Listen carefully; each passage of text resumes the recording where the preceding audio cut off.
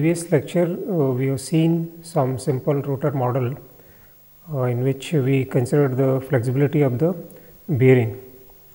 And uh, especially when we considered the hydrodynamic especially when we considered the hydrodynamic bearing model there is uh, 8 linearized coefficient of the stiffness and damping. And we showed that those coefficients we can able to calculate at equilibrium positions and that equilibrium position changes with speed. So, these coefficients in actual practice they will vary with speed. So, whatever the analysis we did earlier uh, that can consider the speed dependency of such uh, stiffness and damping coefficients of the bearings. Uh, today we will uh, study effect of uh, gyroscopic couple on the natural frequency or the critical speed of the system. Uh, this gyroscopic effect generally occurs when the disk is spinning at high speed and it is wobbling. Uh, that means when simultaneously tilting of the disk is taking place during the whirling motion. And uh, because of this particular gyroscopic effect, we will see this that even the critical the natural frequency the whirl natural frequency will now no longer will be equal to the spin speed. So, if we are considering a perfectly balanced rotor and if we are operating at certain speed the whirl frequency may not be equal to the, the spin speed and uh, so for this particular case we will see that uh, as we are changing the speed the gyroscopic moment changes and that changes the whirl frequency. Uh, so, the whirl frequency basically now it will depend upon the speed of the rotor itself. Uh, two things we will observe especially regarding the natural frequency that uh, in this particular case when gyroscopic effect is there uh, the splitting of the natural frequency will observe and this particular phenomena we will see in subsequent lecture. Today we will concentrate on uh, synchronous whirl condition in which we will try to calculate the critical speed rather than obtaining the whirl frequency. So, uh, with the, this particular module of the gyroscopic couple, now the definition of the whirl frequency, critical speed, they will be uh, quite distinct they that and we will observe that uh, we will be having phenomena of uh, forward fold and backward fold also because of the splitting of the natural frequency and corresponding will be having critical speeds also which will be having forward fold and backward fold uh, in which case the spin direction or the spin sense of rotation and the whirl uh, sense of rotation may be same or different. So, for this particular case this uh, will this is the overview of the lecture in which we will be doing the analysis of a simple cantilever rotor with a thin disc at the end. We will not consider the mass of the shaft, only the elasticity of the shaft will be considered and disc will, will be considering as a rigid is having no warping of the disc in this particular analysis.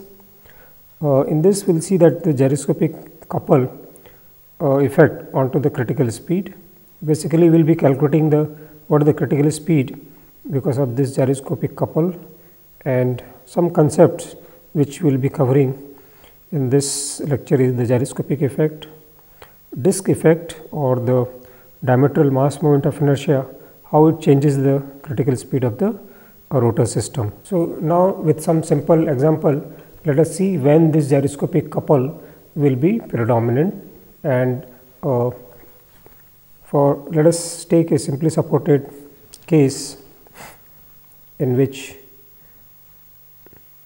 this is the bearing axis and we have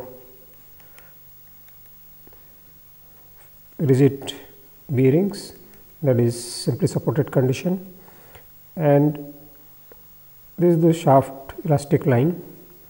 Let us say disc is at the center of the midspan of the shaft. So, during whirling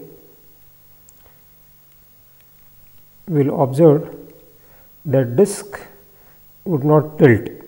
It is spinning about its own axis with omega, but disk tilting will not take place because is there at the mid span and at mid, mid span the shaft slope is 0. so, during whirling of this there will not be any uh, tilting of the disk would take place. So, once this disk is not um, tilting about its diameter, uh, there will not be any gyroscopic couple effect onto this particular system.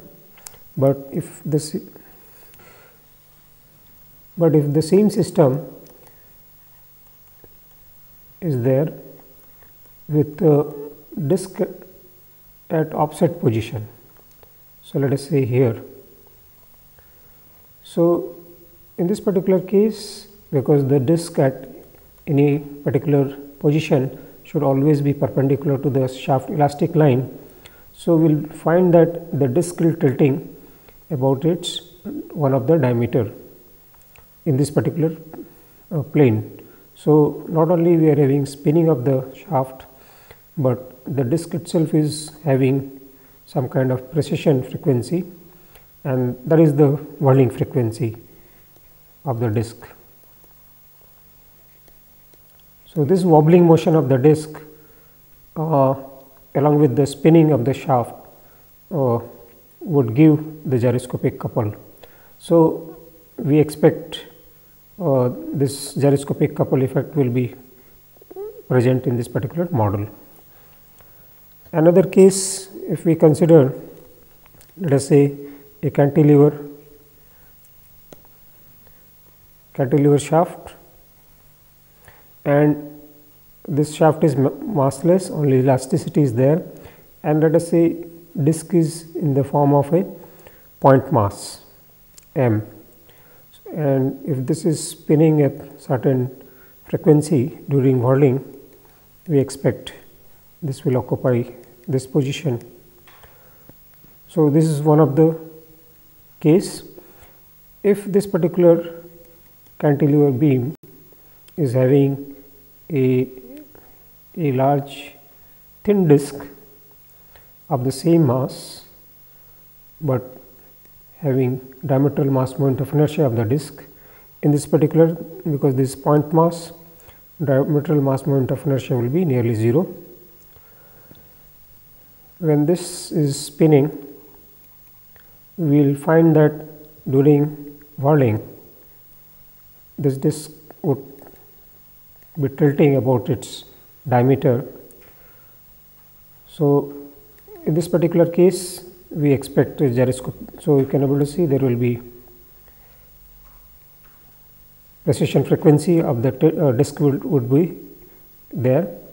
Uh, so, if we consider this particular model of the rotor and in this in which the mass at the free end are same but only difference is here is point mass, here it is disk.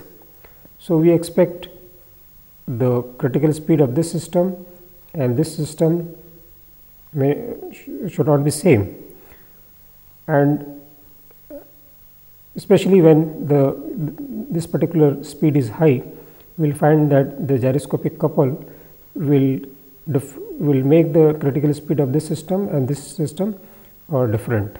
So, with this uh, example uh, is very clear that when the gyroscopic couple will be uh, present in the system and when it, it, it, will not be present.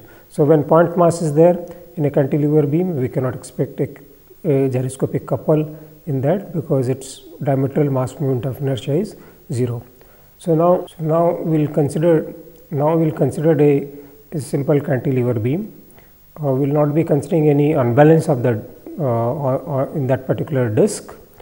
Uh, we are assuming that there is no unbalance in the disk and we are operating near the critical speed of the system. So, that the natural frequency or the whirl frequency is equal to the spin speed. As I mentioned when gyroscopic couple is there the whirl frequency and the spin speed may not be same, but in this particular case we are considering a very special case in which we are trying to find out at what whirl frequency uh, the spin speed is, at what uh, speed it is the whirl frequency is equal to the spin speed. So, that means we are trying to find out directly the critical speed Uh, of the system and in this particular case let us try to analyze a cantilever beam with a large disc at the free end. So, if this is the disc, this shaft is spinning and disc is also spinning with the same speed and because of this we will see that for this particular configuration let us say when the shaft is at the bottommost position during whirling if we try to see uh, for this particular instant how the centrifugal force of various masses of the discs are uh, acting. For this particular instant, we will see that the mass element which is away from the uh, spin axis will be having large centrifugal force because it is spinning about this. As will come toward the spin axis, the centrifugal forces will be lesser and lesser. like this. Now, if we see the effect of this centrifugal force, what they are trying to do to the disk, uh, they are trying to apply a couple which is acting in counterclockwise direction. So, it's trying to so it is trying to uh, orient the disk to its original vertical position. Uh, because the tilt of the disc during whirling is this angle. And this particular moment is trying to oppose that tilting uh, which is coming from the centrifugal force.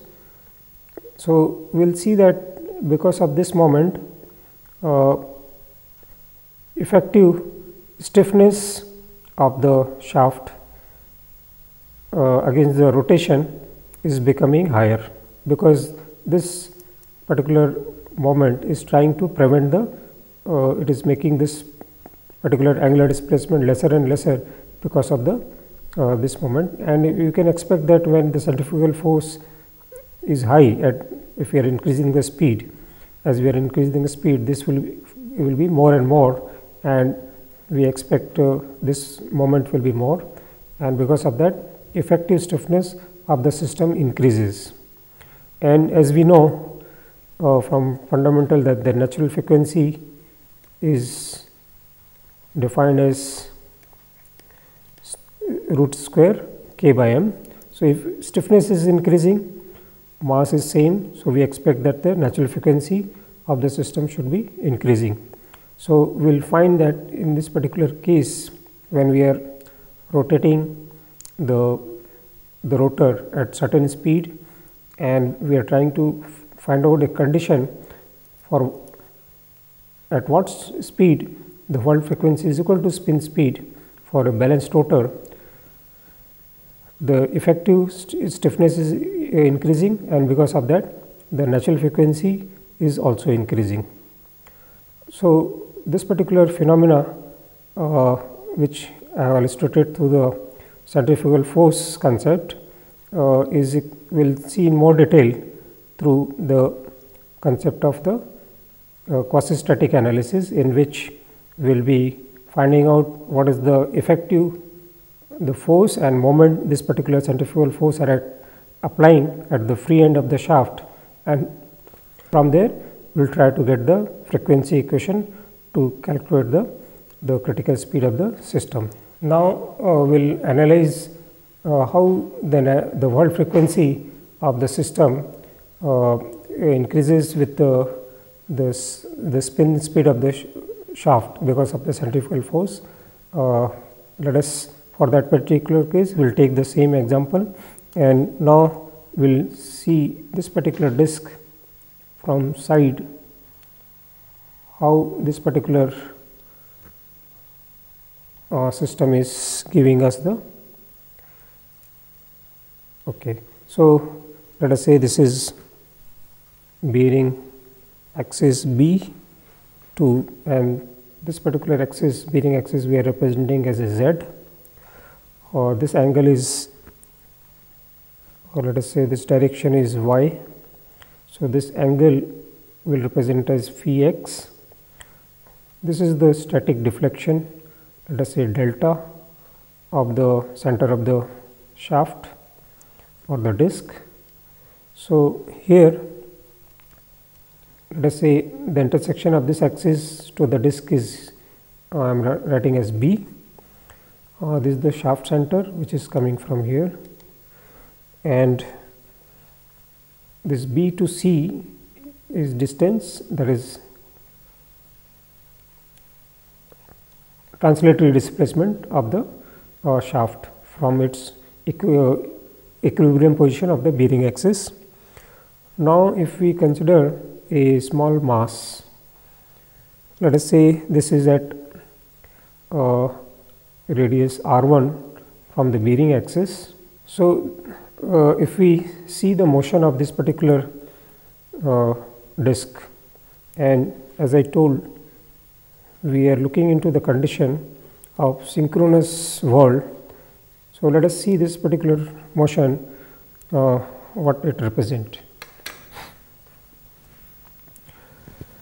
So, in the synchronous whirl condition uh, the spin speed that is the spinning of the uh, disk and the whirling frequency this is the whirling frequency let us say this is the cantilever beam.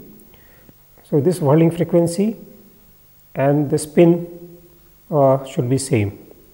Now, when we are considering this synchronous whirl condition, so what will happen for this particular case the shaft will bend and once it is bent it will be rotating about bearing axis in the rigid body mode without uh, the without the bending and uh, uh, without bending of the shaft. So, bending of the shaft if we see the fibers in this particular shaft which is in tension will be always be in tension during the whirling and which is compression will always be in compression during whirling for the synchronous whirl condition. So, it will be as a rigid body uh, it will be rotating about the bearing axis. So, that is a synchronous whirl condition. And in this particular case we, if we see that each and every particle onto the shaft will be making a if uh, shaft is symmetric a circular path. It will be making a circular path about the bearing axis. In also uh, on the disk if we take any element of the mass that also will be making a circular path maybe the radius of the circular path will be different for each of them so in this particular figure the r1 which i have shown here so this particular disk during the synchronous whirl will be making a, a circle with r 1 as a radius and bearing axis as the center. So, it will be making a circular uh, motion. So, we can expect that because of this the centrifugal force which will be acting on this mass let us say this mass is small dm. So, this will be along the direction of the r 1 only so, let us say this is centrifugal force m dm omega square r 1. This is acting in, along the direction of r 1. Now, this particular uh, motion of the whirling again let us see this particular whirling motion. So, this whirling motion which I told for synchronous whirl is spinning is taking as a rigid body about the bearing axis. So, uh, and it is spinning also both are taking place uh, because of that that synchronous whirl is taking place. If we consider this motion in two parts, one is pure spinning at, at omega rpm or radians per second and then uh, without without rotation only whirling. So, basically in actual case both spinning and whirling take place simultaneously, but now I am considering spinning separately and whirling separately. So, in this particular case the disk is not spinning only it is whirling.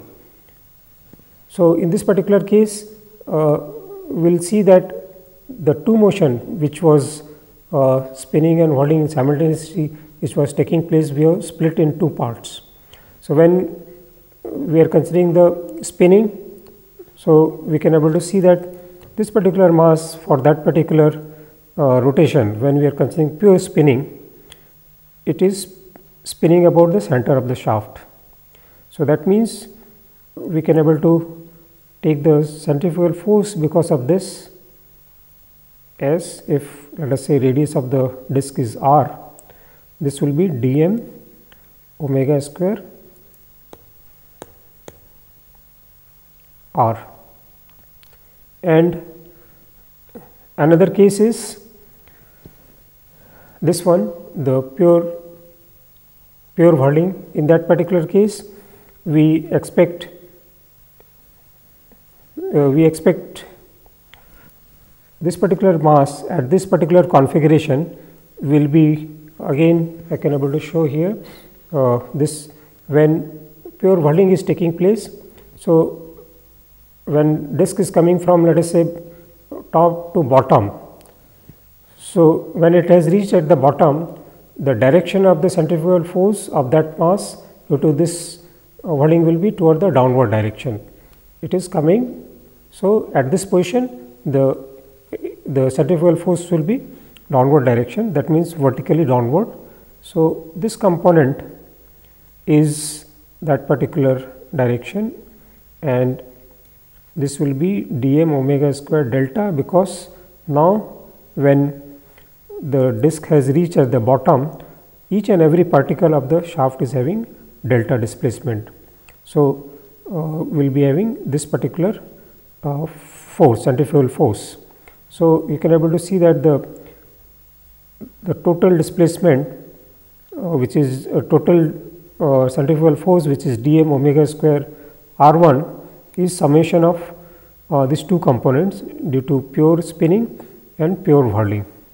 Uh, this particular uh, forces which now we have got now we will take uh, the forces component of this in two planes and we will try to find out because of these forces what are the resultant force and moment which is actually coming onto the rotor system for which I am drawing uh, let us say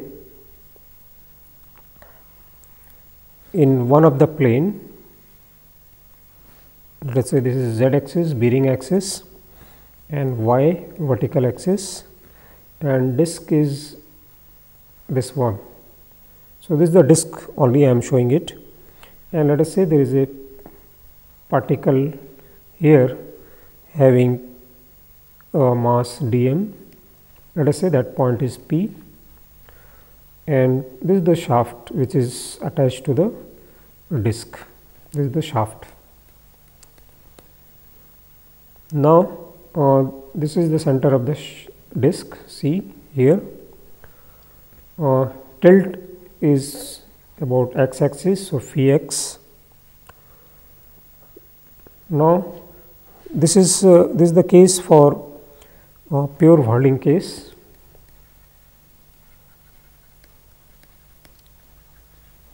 Pure whirling motion, there is no spinning.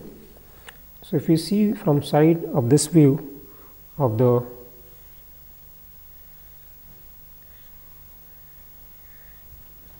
disk, let us say this is y axis and this is x axis particle p is here. Is at radius r? Uh, and this is the center of the uh, center of the disk. Now, if we see this this particular force which is acting downward direction. So, for this particular configuration not only this mass each and every mass will be having same uh, inertia force because each and every particle of the disk is having delta displacement. So, this particular mass dm which is there at P will be having a force m omega square or dm omega square delta. Each and every particle will be having same uh, force. This particular force on this plane is in this direction. So, this is dm omega square delta. If we consider a another point diametrically opposite to this here p prime, this will also be having same direction uh, force, same magnitude because the particle is dm.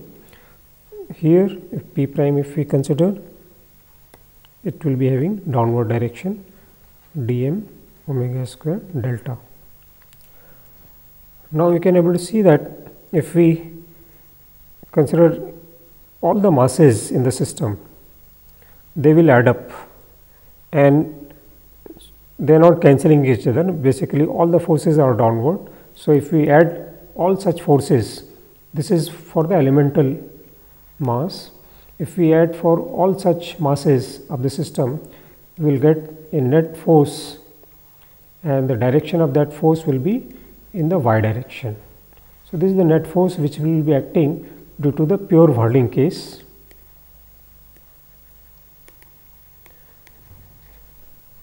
pure whirling motion. Uh, regarding the in this particular case they are adding up to give the force in this. What about the moment? You can able to see uh, this particular particle and this particle will produce about the center moment which will cancel each other because they are opposite to each other. So, there will not be any net moment due to this uh, here also if we try to take moment about this point these two will cancel each other. So, the net moment due to the whirling motion will be 0. So, moment will not be there due to the whirling motion only uh, this particular total mass of the disk into omega square delta force will be acting on this particular uh, disk. Now, let us see the pure rolling motion, pure spinning motion. Uh, now, now we will consider the pure uh, rolling, uh, pure spinning uh, motion of the disk. So, in this particular case, I am again drawing the free body diagram of the disk in let us say z y plane, z is the bearing axis uh, disk is here, shaft is this one. Now, if we take the diagram in other plane, we will see the disk like this. This is the center of the disk C. These are the y axis and x axis. P particle is let us say here and radius of that is r. Uh, let us say this inclination with respect to x is theta. Uh, here because of the pure spinning we have centrifugal force omega square r dm which is acting radially outward. Uh, this particular force we can able to take component in two directions uh, this particular from here we can able to relate let us say uh, this distance is y and this distance position of the from the position of the mass is x. So, we know that x is equal to r cos theta and y is equal to r sin theta so, the component which is there in the horizontal direction here here will be having uh, value omega square r dm cos theta. This will be acting in the x direction and if we combine the r and cos theta this can be written as omega x dm. Similarly, this is in the x direction. Similarly, in the y direction, the force component will give us omega square r dm sin theta that will give us omega square y dm because r and sin theta is y. Now, this particular force in this plane if we want to see the y component is acting in the direction of y, x component is acting in the direction of x axis. So, if a particle is here the force one force is there in this direction the magnitude is omega square y dm. Other force the x direction, x direction is that is perpendicular to the, the screen into the screen because according to the right hand rule uh, it will be inside the screen x will be inside the screen. So, this particular force component which is in x direction will be in the plane of the disk. So, we cannot able to see uh, that particular force here that will be on the plane of the disk, but the y component is along the y direction. So, we can able to see that this particular component is not on the plane of the disk. Now, uh, this particular distance uh, we can able to see that uh, this is y distance, this angle is phi x. So, this distance will be y into phi x because this is y and the angle is phi x. So, this distance will be phi x. So, the component of this particular force will be making y phi x distance from the x axis uh, y axis. Now, if we uh, see this particular particle x component which is this direction, if we take a particle here opposite here, so this particular force and this particular uh, mass force will balance each other because they are in the same plane. Uh, even and uh, if we consider another point let us say below this particular force in the y direction and this direct this particular force if we consider here p prime let us say which is below uh, this will act because it's spinning so it will act in this direction. The magnitude of this will be same as the upper one. So you can able to see that uh, they will make a couple. They will balance each other but they will make a couple. And the magnitude of the couple we can able to find out will be so let us say for single mass dm the couple about the bearings uh, the shaft center will be that is in the yz plane omega square y dm is the force and moment arm is y phi x. This is the moment arm this one. So this this is a couple due to a mass dm if we sum such moments we can able to get the total moment due to the various forces and that will be giving us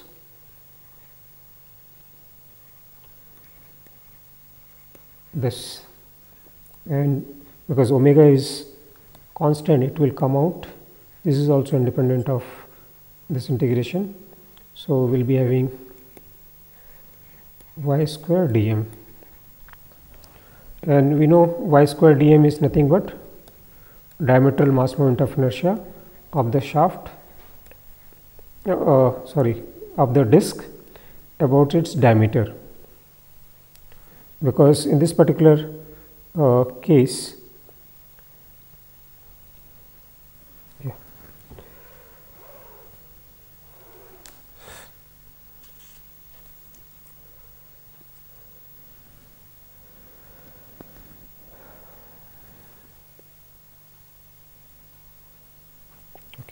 So, in this particular case uh, when we are considering the pure spinning, uh, uh, let's speak on here. So, for the case uh, of pure spinning we found that the x component forces uh, are cancelling each other whereas uh, the forces in the y direction they are they are giving a pure moment and that moment is the gyroscopic couple moment and in the previous case the pure whirling case we saw that the net force centrifugal force we were getting. So, effectively because of the pure spinning and pure whirling we got one force and one moment and now we will be using this to get the frequency equation. So, from the previous analysis of the pure whirling and pure spinning, if we remove the disc onto the shaft, we will be having inertia force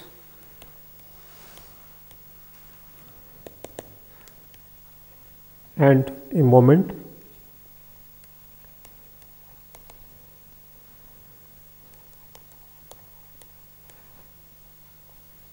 and direction of moment in the previous slide we can able to see is this particular force is producing a uh, counterclockwise in yz plane. So, that particular direction we have retained here.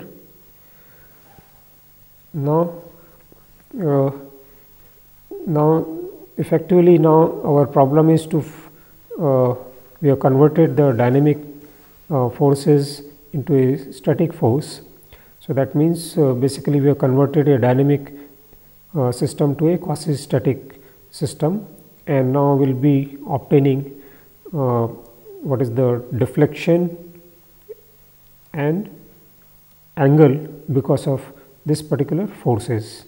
And from strength of material deflection theory we have such relations like for displacement the linear displacement is given as because of the force and because of moment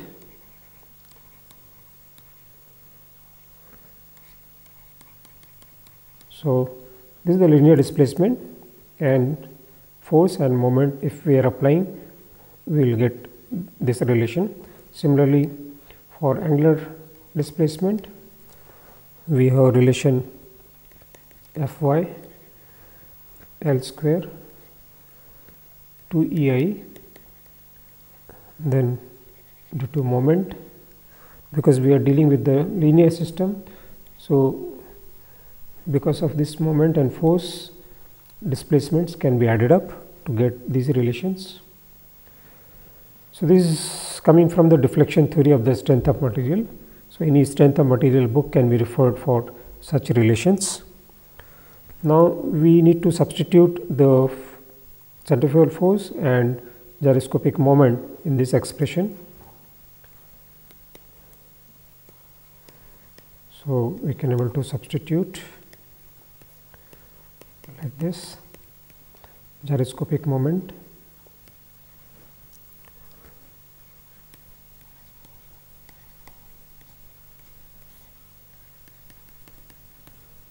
And similarly in the deflection rotational displacement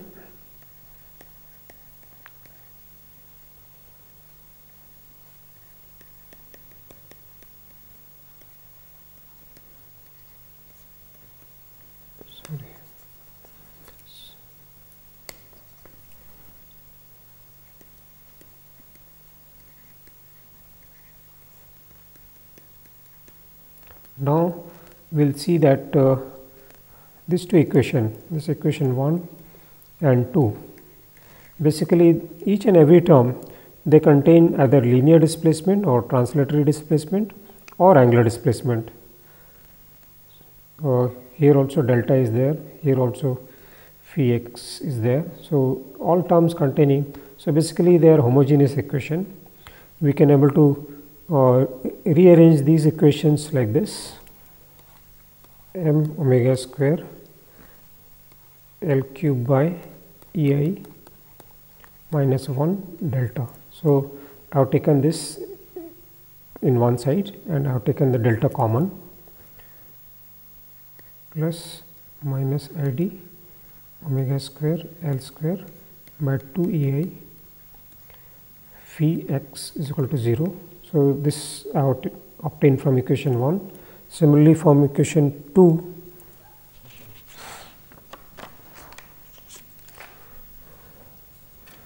we can able to get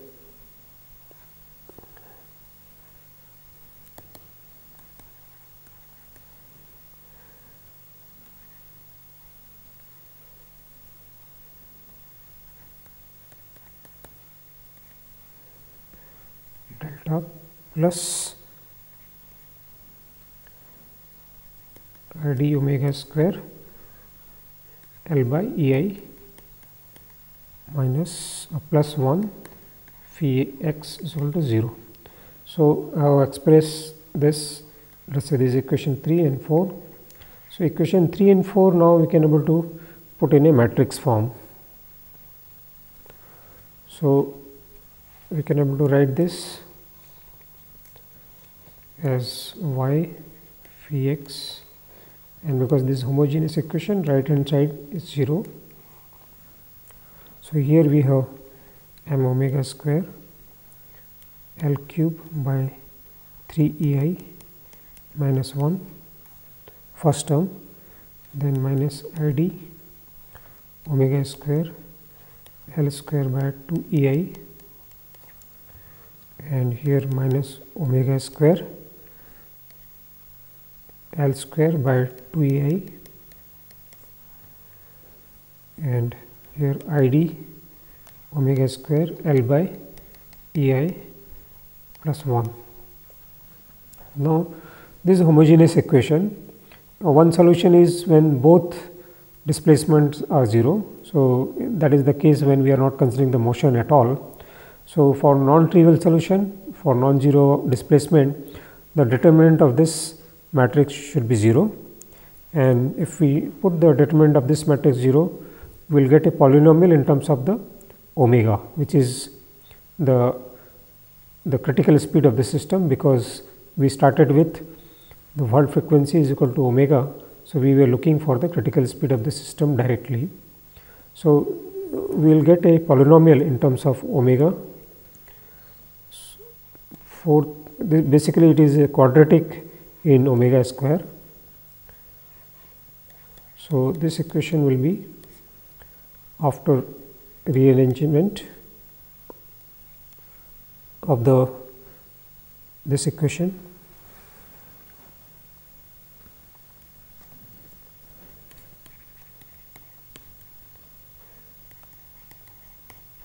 this is the quad uh, square term then a constant term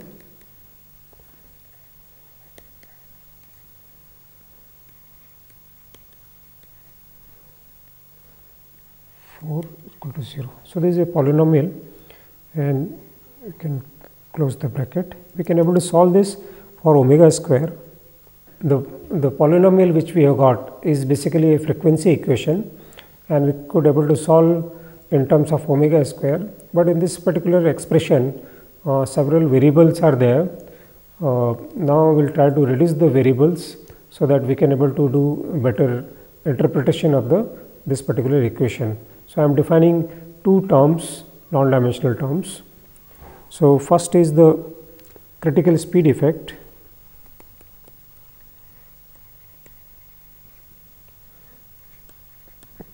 critical speed function.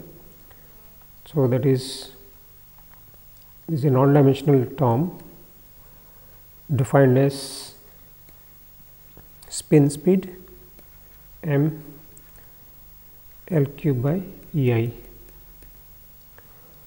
And another is a mass effect disk mass effect.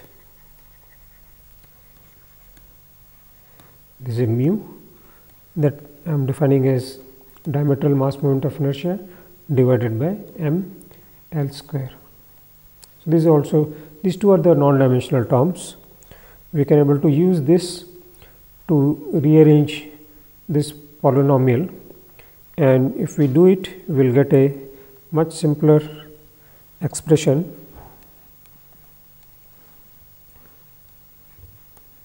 In terms of the non-dimensional parameter we defined.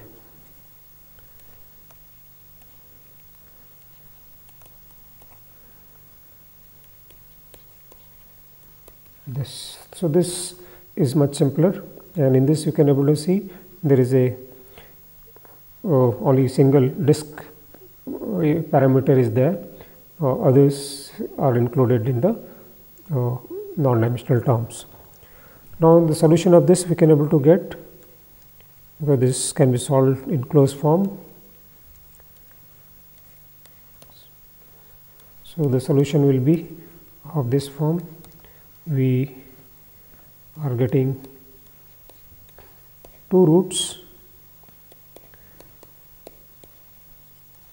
like this, but if we see carefully this expression uh, within the bracket term within the square root term uh, this particular disk effect is positive. So, this will be positive this is a positive. So, we can able to see that this term which is within square root is always greater than this one. Now, if we take the negative sign uh, we will get the this particular uh, the critical speed as imaginary quantity. So, that is not a feasible one. So, we can neglect the negative one and we will consider only the positive sign here. And with this if we plot the omega critical versus mu at mu is equal to 0 let us say so, for mu is equal to 0, uh, we cannot able to solve from here. We need to go here, we need to multiply each quantity by mu. So, we can able to see that this term will vanish or this term will give us for mu is equal to 0 from the frequency equation we will get uh, 4 omega bar critical square and we will get minus 12 is equal to 0. So, omega critical square is equal to 3. So, here for 0 mu we are getting value of the this as 3. Another case when mu is infinity tends to infinity we can able to see that these terms will vanish and these terms will vanish for infinity and if we simplify we will get this as equal to 12. So, that is here let us say this is 12.